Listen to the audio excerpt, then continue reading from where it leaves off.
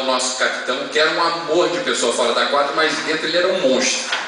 Eu tinha medo, eu, jogando do lado dele, tinha medo do Carlão. E aí, do nada, sobra e ele vai bater a bola na, na rede. Quando ele vai bater a bola na rede, o levantador cubano de água, ele puxa a rede por baixo na mesma hora que o Carlão foi bater. E aí todo mundo está olhando para cima, todo mundo acha que foi rede do Carlão. Carlão bateu a bola, foi comemorar. É, ele foi para a torcida. Lá pelas tantas, o José Roberto Guimarães, o técnico nosso, viu o Diago puxando a rede. O Diago puxou a rede, o Diago puxou a rede.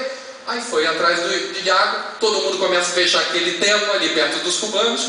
Eu preocupado com o Carlão, porque eu sabia que se ele visse ia cair o mundo. Aí o Carlão ainda estava comemorando longe. Nisso o Carlão se vira. O que, é que foi, rapaz? Falei, não, Carlão, é... o juiz falou que você fez rei. Eu? Não fez nada, não sei o quê. Aí descobrimos que foi o Diago. Nisso, Carlão, Diago, vem cá.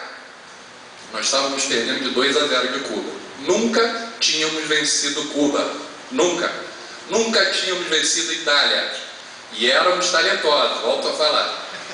Vem cá, Diago. Chegou pertinho, o Carlão, me desculpe o termo, deu uma cusparada na cara do Diago. Aí começa uma correria na quadra. Eu desesperado também, quando eu encontro o Torres, levantador reserva cubano de 2 metros, gigantesco, olhou para mim, eu olhei para ele e falei, Torres, vamos separar? Vamos separar ele? Porque não dava para encarar o cara. Aí nisso, nisso nós saímos e tal, ai, vamos voltar pro jogo, vamos voltar pro jogo, perdemos de 2 a 0. Vencemos o segundo set, vencemos o terceiro set, vencemos o quarto set, chegou no tie break vencendo. Aí então, vai aí, vai aí, isso aí, não sei o quê. Chegamos no vestiário, todo mundo né, com raiva e tudo.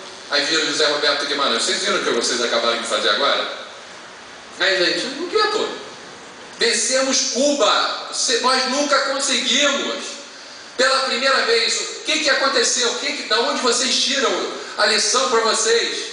Aí vira até o Carlão. Uma cusparada minha. Então a gente brinca através de uma cusparada a gente foi campeão olímpico. Mas às vezes, para uma venda, para o sucesso, para o objetivo, para metas, você precisa de um clique.